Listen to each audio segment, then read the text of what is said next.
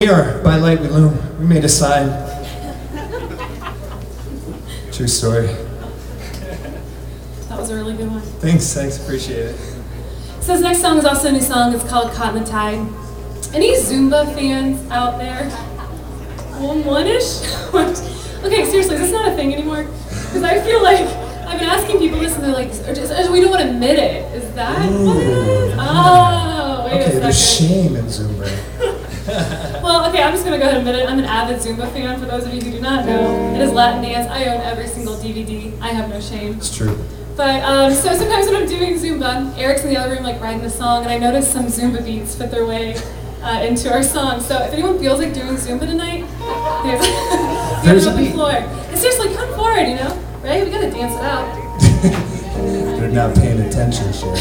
I think it's because it's Sunday. It's okay. But we're gonna dance. Join. Ready? All right. Here we go. One.